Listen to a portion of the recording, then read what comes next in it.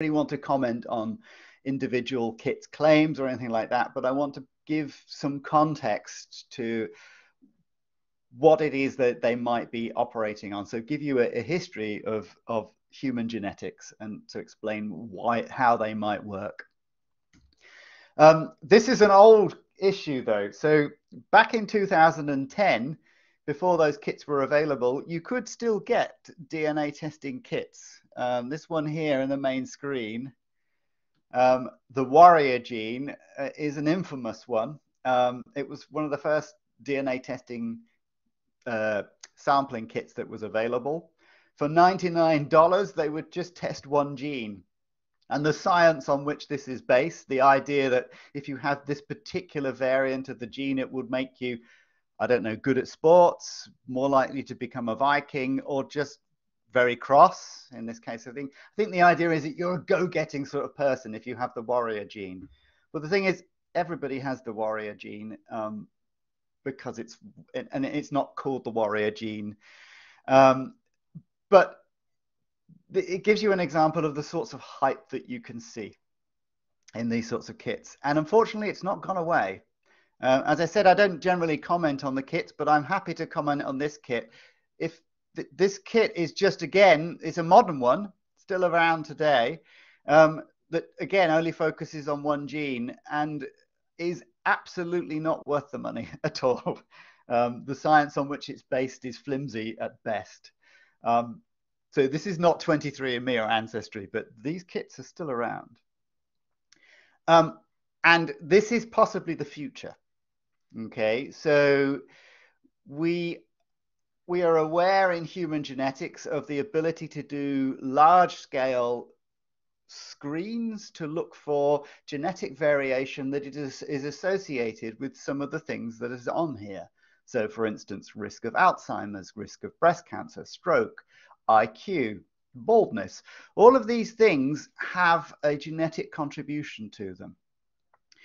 Uh, and so the implication, this is taken from an article in The Economist, the implication is that we might be able to test in vitro, we might be able to test in, through in vitro fertilization and select babies or select specifically embryos that were more likely to have a high IQ. And this, this is just science fiction and may well may never well come to pass because the accuracy of these predictions for reasons that i really don't want to go into um, that, that would be a lecture series in itself the accuracy of these pre pre predictions are not what they're set out to be uh, often in the popular press so after having sort of thrown cold water on it what what am i going to set out to do i'm going to tell you about the human genome what it is uh, how you have inherited it, and, and what the sorts of things that we can do.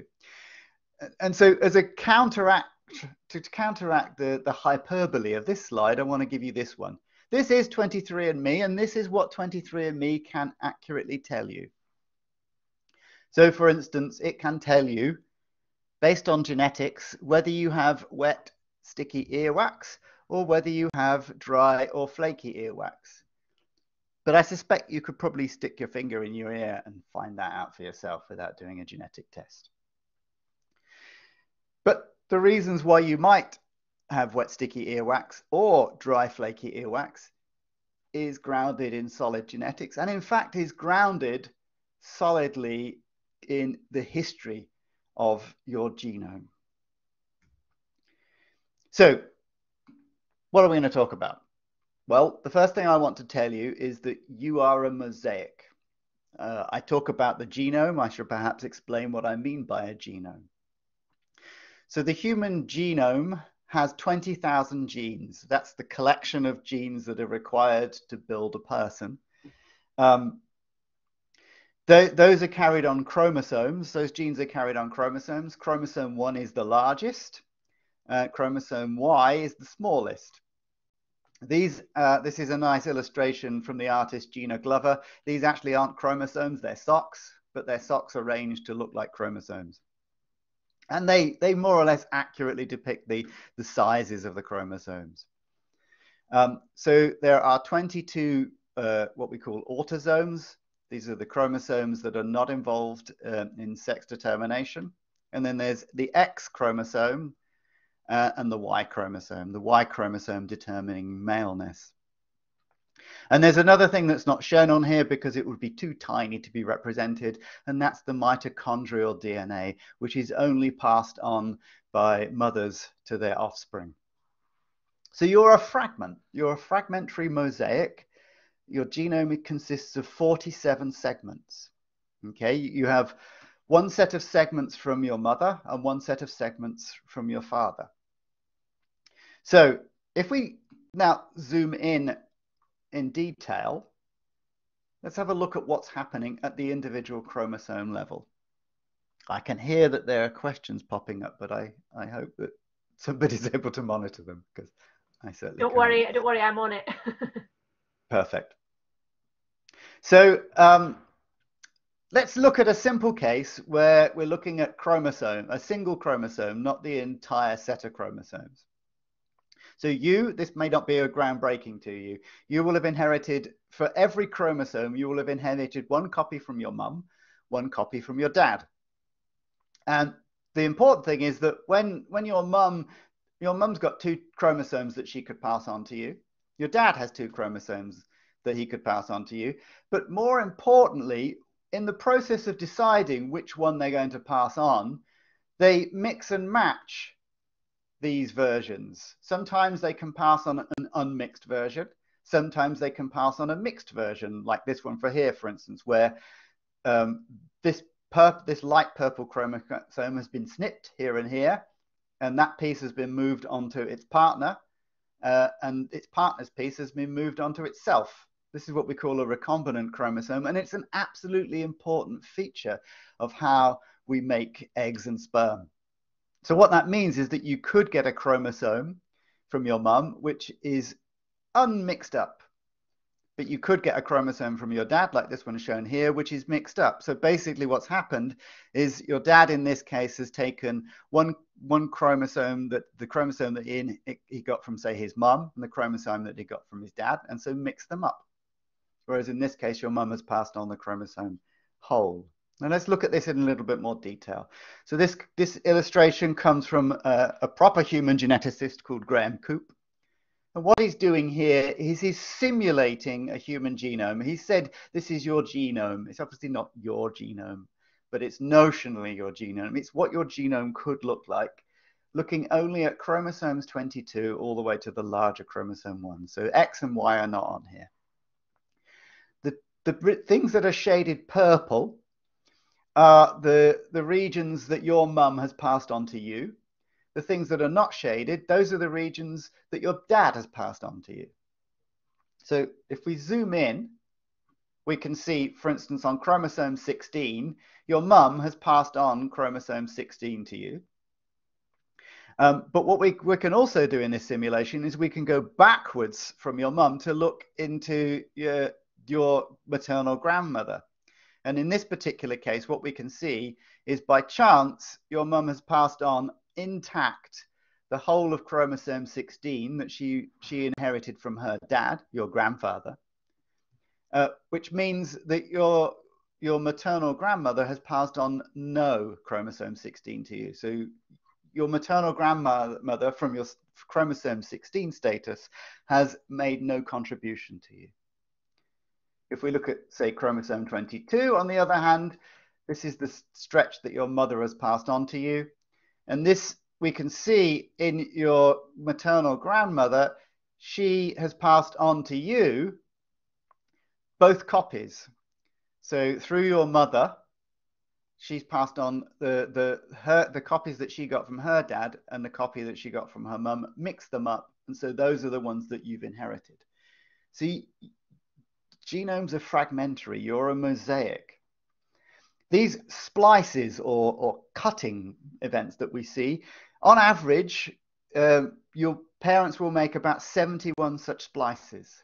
So that if we go back one generation like we have, um, you'll you'll inherit about 118 pieces.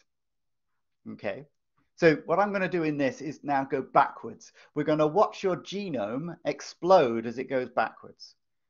So going back one generation to your parents, That gets turned into, so your intact gen, uh, genome comes from about 118 genome segments. If you go back two generations, so your grandparents, now your genome is segmented into 189 pieces. Okay. As we go back further, each time we go back, the, what, what's happening is you're doubling the number of ancestors and your genome is becoming more and more fragmented. Okay. So, for instance, by the time you get 10 generations back, okay, so approximately 300 years ago, what we'll find is that a substantial number of your ancestors have not contributed any DNA to you at all. Okay, because you've got 757 fragments spread over 1,024 ancestors. So by definition, there aren't enough ancestors anymore to each have contributed enough to you. So some of these, they're, they're your genealogical ancestors, but they are not your genetic ancestors at all. 15 generations back, so 450 years, uh, you've now got 32,768 ancestors, but only 1,112 segments. So in fact, the calculations show this far back, 15 generations ago, only 3% of your ancestors will have contributed to you genetically. They are your genealogical ancestors, but only a tiny fraction of them will have, have, have transmitted DNA down the generations to you. But there's something even more shocking in tracing your ancestry back in time. So as we move back through a pedigree, as we've seen, the number of ancestors is growing. And as we move back in time, though, there are fewer and fewer people around to be your ancestors. So in theory, if we were to go back 35 generations, so that's a, a thousand years or so, there should be, with the ancestors increasing, there should be on average between 30, about 34 billion ancestors. Now, I, I think you can probably work out why that's a problem. Um, there certainly weren't that many people alive back then. So what's going on here is something called pedigree collapse. Now, genealogists know all about this. So if there are any genealogists, in the audience, this, now's the time to go to sleep because I won't be telling you anything remarkable. So this is another one of Graham Coop's uh, simulations. So this is a simulated pedigree um, of a, a, population of a thousand individuals uh, where we're focused on one particular person. So this could be you, for instance. And this is the parents of that individual and going back in time. And this simulation goes back through the generations and it draws an open circle um, on individ individuals that appear in the pedigree more than once. So by the time we get back to the 10th generation, we see that there are one, two, three, four, five, six individuals which appear more than once in this person's pedigree. So this is what we call pedigree collapse. In other words, um, there are more. There's more than one route from you to these individuals going through these this lineage. So this is effect. This is inbreeding. Okay. By 15 generations back, right at the top here, you can see that this is a solid line. Okay. So by 15 generations back, a substantial number of the ancestors appear more than once in your pedigree. Some of these individuals are appearing seven, seven times in the pedigree. To show this even in more detail, we can overlay the pedigrees of two individuals. So now the open circles represent situations where we have ancestors of the blue individual, which are also ancestors of the red individual. Okay, so nine generations back in this sim simulation, we encounter two individuals, but the, are the ancestors of this person and this person. But this is a simulation of a thousand people per generation. You're right to say, yeah, but this is not real. So what is real? So what is real is because we have the genome sequences of thousands of individuals, we can actually test whether these simulations represent accurate genealogy. And it turns out that if you have European ancestry, going back through all our pedigrees, we reach a time around about the 13th century. when our pedigrees confer- converge on the same person. So if you have European, substantial European ancestry, as I do, by the 13th century, all of you and me have the same common ancestor. Okay, now, this isn't this isn't sort of a hypothetical notion. This is reality. By the 13th century, we've arrived at the point where somebody alive then is the ancestor of all of us. You guys at home, me in this office. Okay. So we will still have other ancestors that we don't share in common, though. Two people with Scottish ancestry, for instance, will have more common ancestors in common than either would with somebody with Spanish ancestry. But nevertheless, they will all have that same common ancestor alive in the 13th century. But things get even more edifying as we go further back in time. So by the 10th century, if you remember a few slides back, I said that you would theoretically have 34 billion ancestors or thereabouts.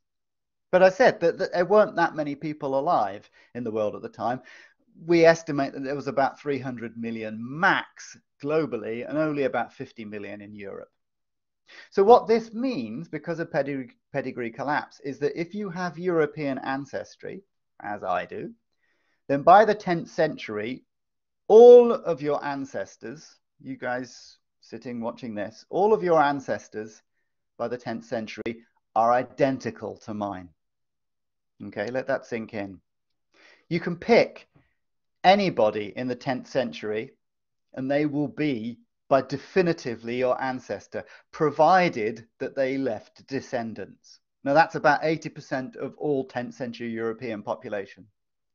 So by the 10th century, everybody alive in Europe at the time, if they left descendants, is the ancestor of everybody in Europe with, with European ancestry alive today. So if you have European ancestry, one of the more interesting people alive in the 10th century was Abd al-Rahman III, the Caliph of Cordoba. This guy is your direct ancestor. He's mine too. So we can take this analysis outside of Europe and we end up with even more startling conclusions. So Douglas Rohde, Steve Olson, and Joseph Chang showed some time ago that, that everybody's recent common ancestor, that is the person who shows up in the pedigrees of everybody alive today, only lived about two to 5,000 years ago. Now that's, that's startlingly recent, okay? Their analysis showed that about 6,000 years ago, there are some error bars on this, so between six to 8,000 years ago, everybody alive then in the world, if they left descendants, is the ancestor of everybody alive today. Again, that that is one of these things that people when I give these presentations, when I give it live, you can see the skepticism on everybody's faces because we're used to thinking that that that we we've been isolated human populations have been isolated for so long. And and in the bulk that is true. But what happens what what uh, what Rohde Olson and Chang showed was that populations nevertheless have leaky boundaries. And if you have those leaky boundaries and expand them across the planet you find that there are no populations or very very few that have been isolated for extended periods of time. We, our ancestral network is a mesh. We're all much more closely related genealogically than is commonly appreciated. And as we've built up more and more data looking at this, the genetics has validated this, this picture, which I'm showing you here, which, which came from the mathematics of population genetics. The actual raw data has validated this. Um, and I'm going to come on to give you some examples of that in a minute. But these are genealogical ancestors, okay? I've already told you, if you go so far back in time, most of the people that are your genuine genealogical ancestors haven't contributed any DNA to you. I think it's famously said that the, the, the, the late Queen Elizabeth II uh, was related to, to William the Conqueror. And because she's royalty, there's a clear genealogical link to her, to, to, to William the Conqueror. William Conqueror will not have contributed any DNA. The likelihood of that is very is vanishingly small. So what are we? What? Let's look at genetic ancestry. Okay, so one of the simplest things we can do is we can look at mitochondrial DNA. So mitochondrial DNA, remember, is the DNA that is passed on by on, on by mothers to their children. Their children will only pass on the mitochondrial DNA if they're if they're female. So we we have this tree that builds up tracking a particular mitochondrial DNA from this ancestral mother here all the way through in this simplified case to say to today. So this is a simplified, simplified picture, but the reality is, is that that is what we see. So everybody alive today has mitochondrial DNA, which we can trace back to one particular individual, so-called mitochondrial Eve. Now, she wasn't the only person, unlike the biblical Eve, she wasn't the only woman alive. She was one of many. But she's the only woman who we can trace all our mitochondria to.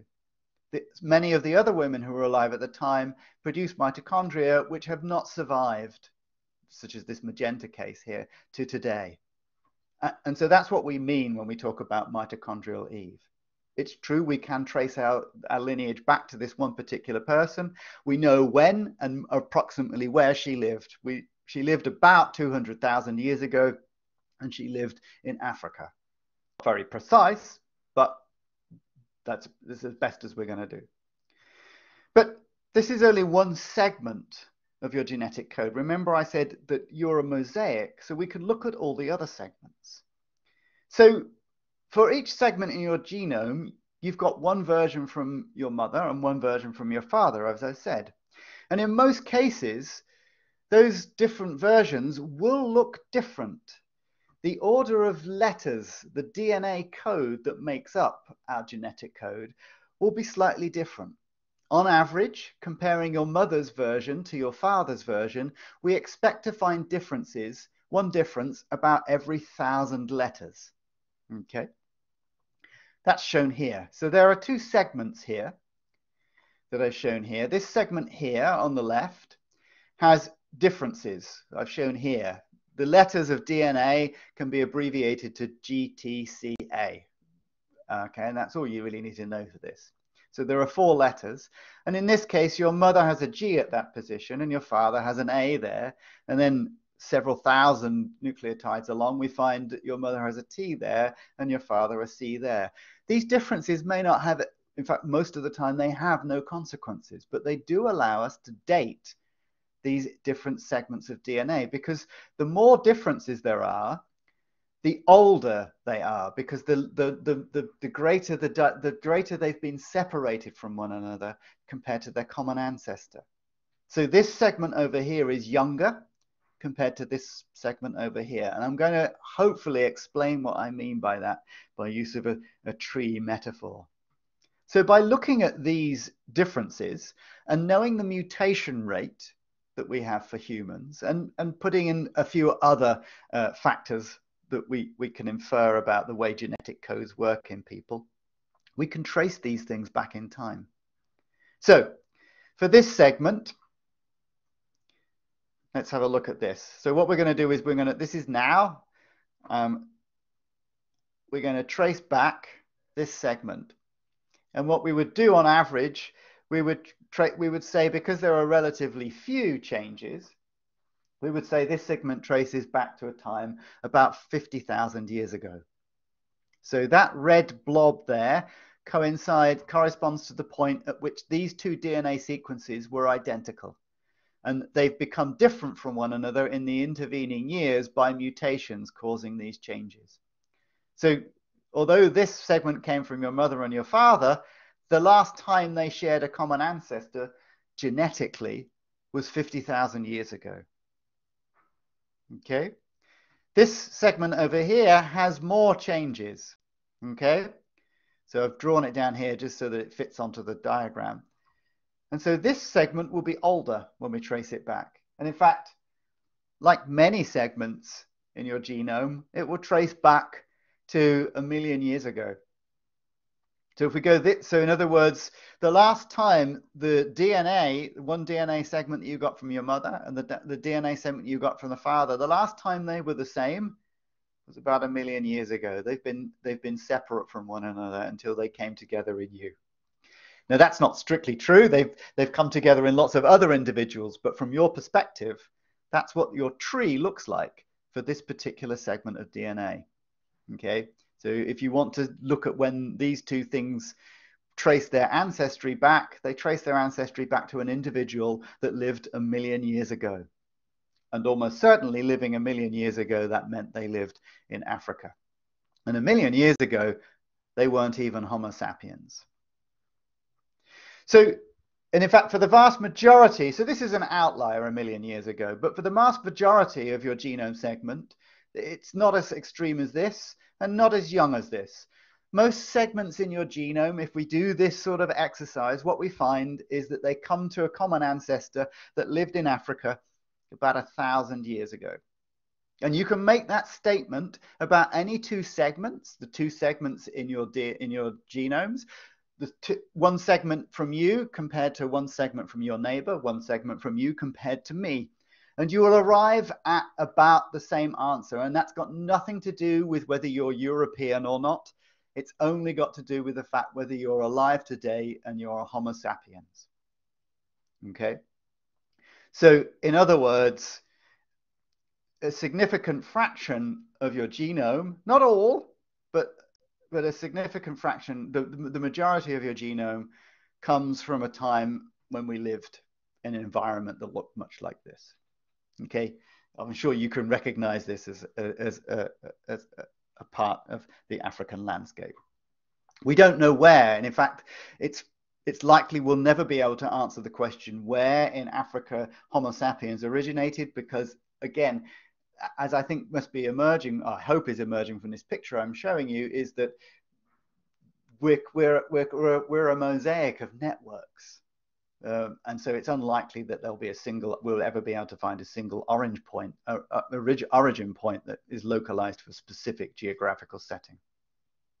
So I said most of your bits of DNA come from people that lived, Homo sapiens that lived in Africa about a thousand years ago, but not all. A very small fraction.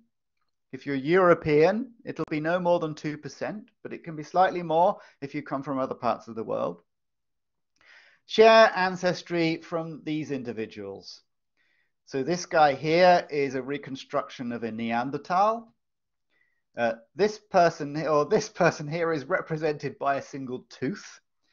Um, this we don't have uh, good enough uh, fossil evidence, but we do have genetic information. One of the revolutions that's happened in the last 10 to 12 years is the ability to recover DNA from fossils like this tooth.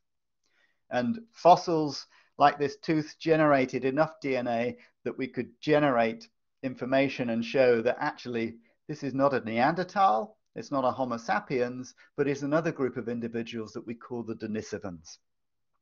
And both the Denisovans and Homo sap uh, and the Neanderthals contributed significantly um, to our ancestry. So we know now that groups of individuals that migrated out of Africa, groups of Homo sapiens that migrated out of Africa about 60,000 years ago, when they came, when they moved out into a world, remember, this is a world that is glaciated or going through glaciations um, they encountered people that had gone that had already they were already inhabiting that area hundreds of thousands of years ago the denisovans and the neanderthals and as adam rutherford has said um, the thing that you can say about uh, people is, is, they migrate. So Homo sapiens are very good at migrating large differences, distances, and they are also very keen on having sex with one another. And it's no surprise, therefore, that that when these people encountered the Neanderthals and the Denisovans, they had children with them, and those children survived to have uh, their own children down to today. When again, as I said, if you have significant European ancestry, if you've done 23andMe and Ancestry.com, one of the things that they will have told you is what percentage of your genome contains Neanderthal DNA. And that is the signature of these events that happened between 40 and 60,000 years ago. These guys are gone. By about 30, between 30 and 40,000 years ago, they had disappeared and they're only, they have only lived on in us. Okay. Which I think is both tragic, but also incredibly romantic as well at the same time. So migration and population mixture are the things that, if you, if you like, uh, uh, personified by the idea that we've inherited Neanderthal and Denisovan DNA. But migration and population mixture is the thing that defines us more than anything else. Okay, it pulls the rug. So the more we have learned about human genetics, the more it's become apparent that our preconceived ideas about how you can divide people up into groups that we would call, for instance, races today, how that is undermined by modern genetics. It pulls the rug out from the idea that we can be divided into a handful of clearly delineated racial groups. As I'm going to show you for the remainder of this talk, nothing is stable when it comes to human ancestry across um, generational time. So all modern human populations that we're used to seeing today and used to talking about. So, you know, we might be talk, used to talking about South Asian populations or East Asian populations or, or even Han Chinese as a group. Those modern human populations, if you go back 10,000, possibly even 4,000 years ago, didn't exist. And the populations that existed at the time no longer exist. They only exist as ex- uh, uh today as mixtures of events that happened in the ancest- in in, their, in the an- our ancestors.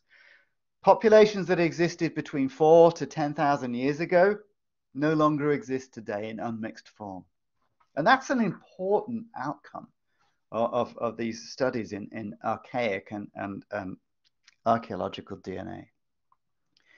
So what I want to do is explain what I mean by this by focusing on specifically on the ancestry of Europe. Now,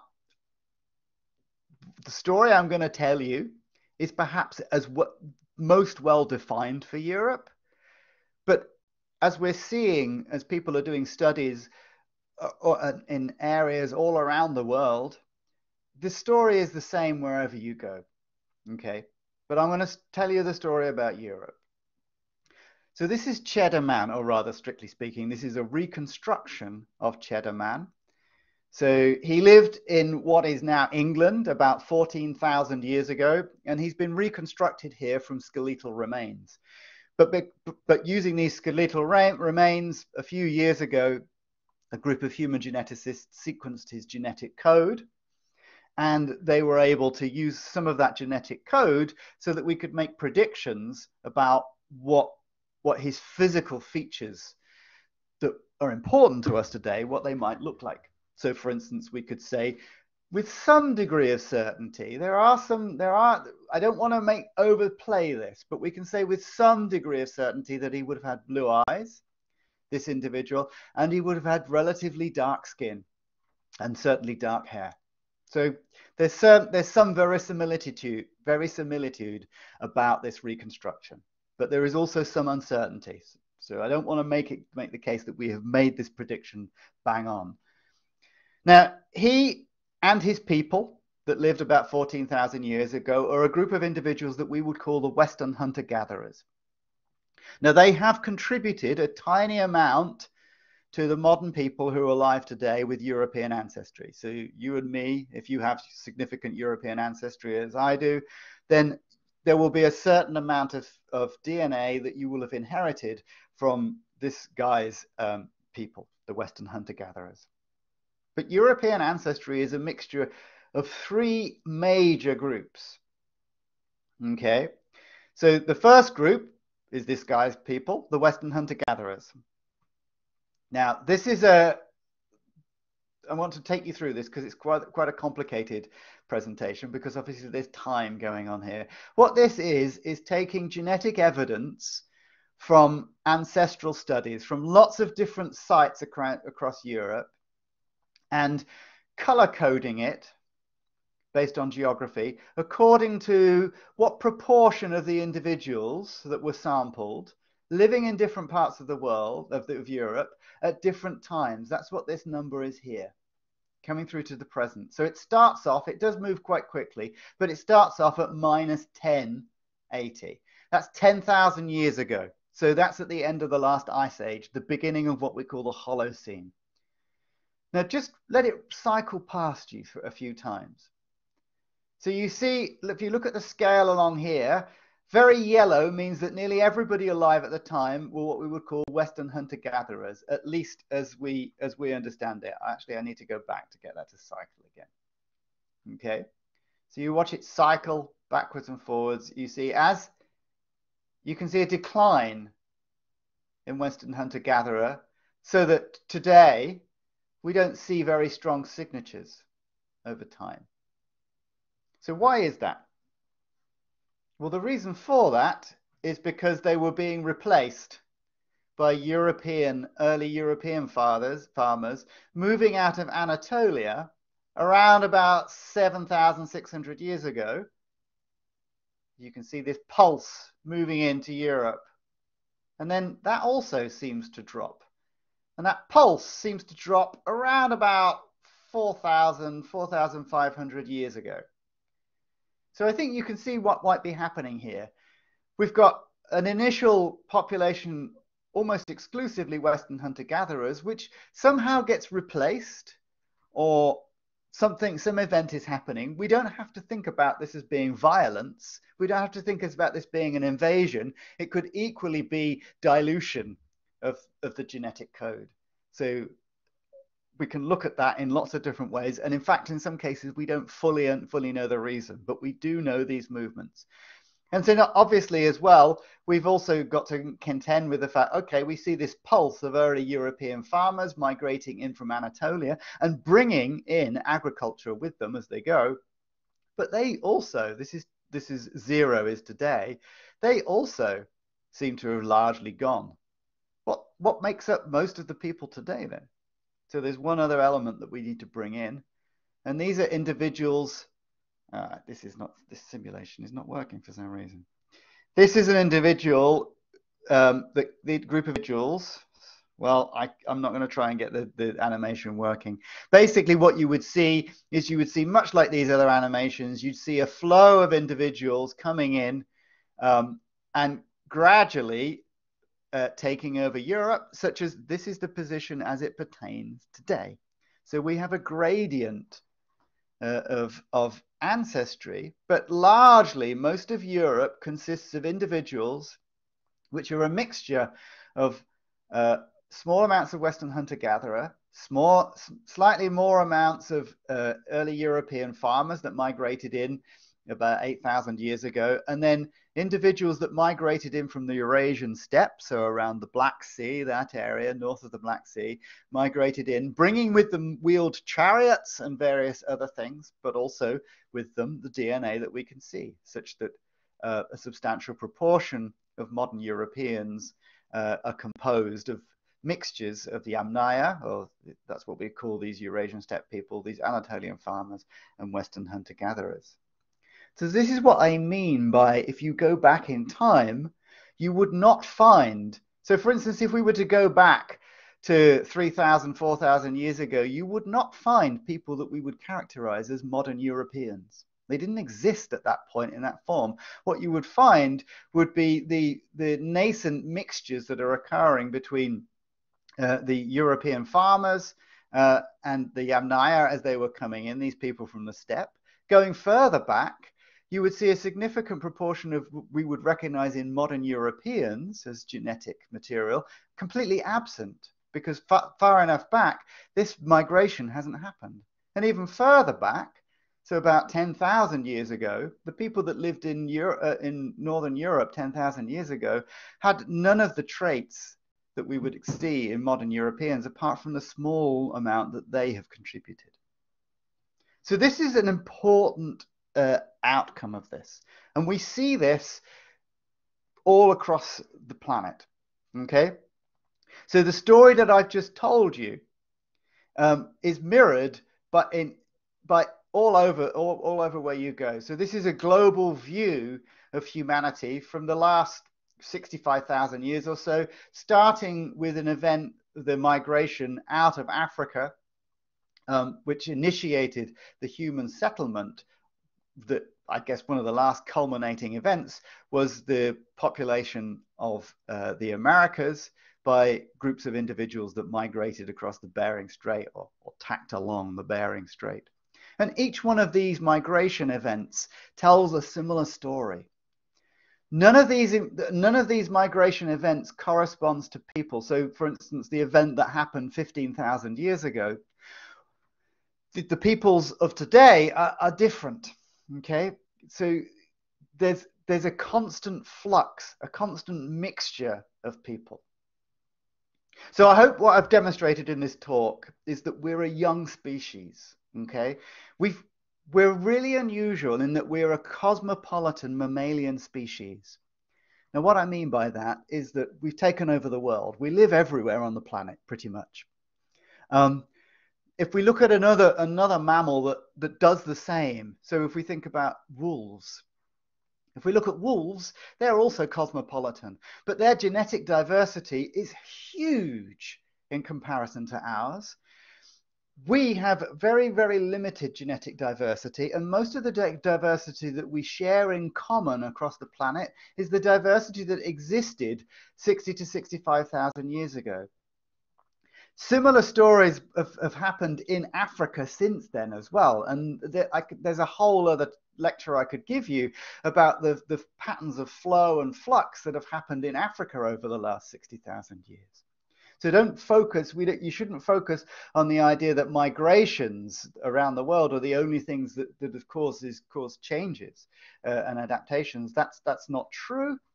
Um, but the key thing that I want you to take home from this is that although we've migrated these last these vast distances, we've kept in touch with one another. Okay, so there is no case where you could pinpoint somebody and say, or there are very, very few cases. The only case might be the Andaman Islands, where you can say this group of individuals have been isolated from one another for 10,000 years and they've had no contact with other groups. That turns out to be much of a myth. There are greater, there more, there are greater degrees of interaction than in certain areas than others, but the idea that we've been separated is simply not borne out by the genetic data. So the, rea- the reality is that the human gene pool is shallow.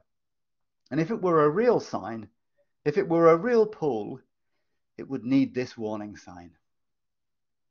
Okay, so I'll stop there. If you've enjoyed this talk and you want to find out more, because this has been a very, very rapid jump through a lot of very complex material, there's three books that I would recommend. Okay.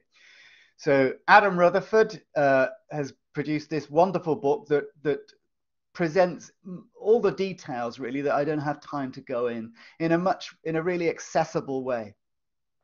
A good companion to this, read this one first. A good companion to this would be David Reich's book, Who We Are and How We Got Here. Now, David Reich is a, a researcher at Harvard. He, he's one of the labs that has pioneered the ability to sequence genetic code from individuals that lived tens, 20, 30, 40,000 years ago. Um, and he's, his lab has along with several others, has really revolutionized our understanding of who we are and how we got here. But it's quite a technical book, although it's a popular science book. I would read Adam's book first and then maybe this one. And then a book that I can't recommend enough is Angela Saini's book Superior, which looks at genetics from a cultural perspective. So why why do we have this perception that there we can group everybody on on the planet into these very a handful of groups uh, and and to think that that has any biological relevance and genetics shows very clearly that it doesn't um, and so I recommend that book as well. Right, so I'll stop there and I'll take any questions if there are any. Super, thank you. Thank you so much for that. That was absolutely fascinating. I'm just kind of mind blown yeah. after listening to that. Um, uh, so just a reminder, everybody, you can use the chat to ask questions. I think everyone's probably in the same boat as me. Um, just trying to think it through and what they want to ask. And uh, we have got one to begin with. Um, so the first question is, first of all, it says absolutely fascinating, thank you. I believe a number of suppliers of DNA testing kits keep databases. Ancestry, yes. for example, that I've read in the USA. Are there dangers in this? um, that's it depends on the dangers. So um, the reality is that um, the databases are the databases maintained by 23andMe and Ancestry are very, very secure. So I that they have um, they keep very tight reins on them. Occasionally, they will make the information available, but it's it's very it's very anonymized. Now, that said, um, a number of researchers in the US have shown that you can potentially circumvent some of these issues if you know enough about genetics. You can actually find out information about individual people. Probably not from 23andMe and Ancestry because I don't think there's a way of doing it. But there is a publicly available uh, an Ancestry database called GEDmatch or GEDmatch. And in fact, that was, I don't know whether people have heard of this case. There was a, uh, uh, a very particularly nasty serial rapist and murderer who was operating in San Francisco in the Bay Area, who is currently, I think, awaiting conviction because they were able to use ancestry to track this person down. So you will you your your DNA will illuminate all your relatives. If you put your DNA into a public site, not only are you revealing stuff about yourself, but you're revealing stuff about your your relatives all the way out to your third or your fourth cousins. So it's worth bearing in mind, but I think 23andMe and Ancestry, you're probably safe. And, and just further on that, um, and obviously, well, I'm into true crime and have read about that case. And do you think there's a risk of um, any of this information, even with big companies like 23andMe and Ancestry, being used with law enforcement against people's will or against their permission? It's an area that's, I mean, I'm not an expert in this area. I just keep up keep up with it as uh, uh, as an interested party. Um, it's so, for instance, in that particular case, the they were they they tracked down the third and fourth cousins of this individual, and they were able to narrow it down to two possible suspects. Now, so so I should say the reason why they were able to do this was was because somebody with foresight in the 70s froze some forensic material taken from one of the victims. So they were able to sequence DNA from that and upload it. And that's how they found these relatives. What they were then able to do is to get a court order, uh, if, if, if effectively a search warrant, allowing them to swipe DNA from coffee cups of suspects and sequence for the match. I think this is probably a case where the courts really need to catch up because I think there are some. I would worry that there could be convictions that were unsafe because they're technically unsafe and the and the courts are not being advised. So this is a case. This is a case where possibly we need geneticists acting in a professor professional capacity. Yeah. Um, thank you very much. Um, there's no other questions in the chat at the moment, but I've I've got one just uh, purely out of interest. Um, when there's sort of common serious illnesses, incurable illnesses, things like um, you know uh, Parkinson's or uh, dementia, that kind of thing. Yeah. Are geneticists able to map when that first became an, a thing, became a, a, a, a disease, and is it? I know nothing about them, so is it something that's always passed genetically, or is that's, it something that can be developed? That's a really good question. That's a really good question. And, and yes, yes, we are. Um, so um, just using the techniques that I, I, I, explained about, yes, we we can date specific parts of, of DNA, and so we can we can do that. Yes, so we can see. So, for instance, we know.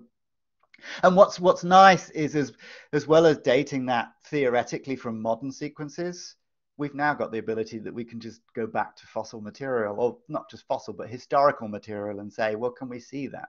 And in fact, that's that's what we see. So you can so cystic fibrosis, for instance, we can date that to um, within certain degrees. We know that that's happened in the last, uh, for certain genetic variants of cystic fibrosis, we know that they're slightly more than 10,000 years old. For, for things associated with malaria resistance, we know that they're actually less than 10,000 years old. Um, so some things are a complete surprise. Um, the, the, the region of the human genome that has been subject to the strongest selection pressure is the ability to drink milk as an adult. Um, and we thought early on when people were doing these studies, we thought that that meant that um, sometime a long, long time ago, that was subject, then you know, that, that's when it became an important feature of our diets. That's not true at all. It's only happened in the last 2,000 years. Oh, yeah, it's remarkable. Wow, that's uh, incredible. Um, yeah. The next question is Where do you see DNA research moving in the future? From an outside perspective, it feels that research in this area is evolving so quickly. Yes. So, I mean, we are, some things, some things are faster than we ever expected that they would be. Uh, and, and other things are being oversold. So, I mean, I think one of the classic one is I did not expect a few years ago when this new technique called uh, uh, CRISPR genome engineering came out. We, we use it in the laboratory on our worms. Um, and that was in 2015. I did not expect that within five years somebody would be doing that in people.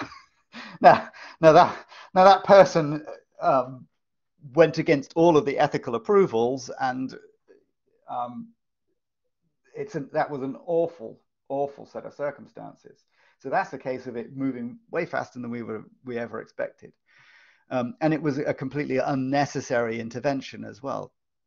Um, I, I think the areas, so if you want me to go out on a limb, I suspect that some of the things that we will start to see will, could well be, um, if, you, if you like, pe pe pe people people possibly trying to make improvements. Now, I, it, it can't happen under the current regulatory environment. I can't see it happening, but I would not put it past some rogue element doing that.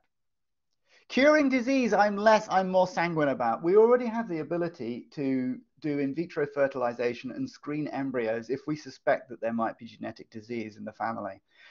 We don't need to do you know, expensive genome engineering techniques, we can just screen the embryos and look for the ones that that that don't have the damaged genes. And I would, I, I, I am, I'm nervous about the idea of doing any intervention in the human genome because my feeling is that we don't understand it well enough. The idea of engineering babies for high IQ, you know, never say never, but I can't see that happening. Our understanding of the system is not good enough. Okay, the next question is um, Do you think more care should be taken when these commercially available tests may provide clinical information that's possible disease development in a family? Yeah, I think one of the problems is so I, I said at the beginning, these people are not, the, the companies are not presenting bad science. Okay, they are, but the problem is that the science is you would have to have a good understanding of the genetics sometimes. So, so for instance, the earwax thing that I started with, that's fine. It, it's it's one of the few things that if you have that particular genetic signature, you will have wet earwax or you will have dry earwax, and it has no real consequences anyway. There there are cases where as well. So, for instance, BRCA mutations, things associated with breast cancer, we ha- we know for some mutations the risk is well defined and I suspect the companies would do due diligence on that. But it's areas with things like cardiovascular disease, what we call complex genetics, where the risks, where we don't really understand enough about the medical genetics side of things. Okay, we, we, we can define that there is a risk associated with one particular population that we did out we did the study on, but that those risks don't transfer well to other populations. And I'm not here, I'm not talking about whether you're European. We know that there are cases where if you study a group of people that live in a certain area and do this do the tests, those tests are not applicable to the same ancestral group but living in another area. So it, that aspect is complicated. And I think to be fair to them, I think they do a quite a good job at, at, at presenting the uncertainty. But it's actually hard to do anyway to, to explain that. So yeah, I think there are risks. Super, thank you. And just something that you mentioned about ethics earlier, and somebody kind of going against all uh, advice to to to um, you know discover something. Where's your stance on that? You know, do you are you behind people being a little bit more rogue if it's for the greater good, or or do you think? Oh that... gosh, no, absolutely not. no, I'm not. I'm, I cannot imagine. I cannot imagine a situation where you would go against uh, the regulation. The, I mean, there are global regulations, but there are also UK-wide regulations, and uh, I cannot imagine the situation where you would go against those regulations on the grounds that it would be good for people because it simply wouldn't be. I, my feeling is, I mean, we we used to have somebody in Aberdeen, uh, Niamh Heighties, who was who was very active in the ethical regulation, and uh, you know, I, I, speaking to her, it's very clear that, that, that the regulations are there for good reason, um, and as we we've seen. Um, I, I cannot think of a situation where it would be for the greater good for humanity to contravene the current regulations that we have. Good, good answer. um, and just finally on that topic, um, are there any significant regulatory differences between different countries? Oh, that's an area that I that I suspect there are, but I but it may be so. For instance, in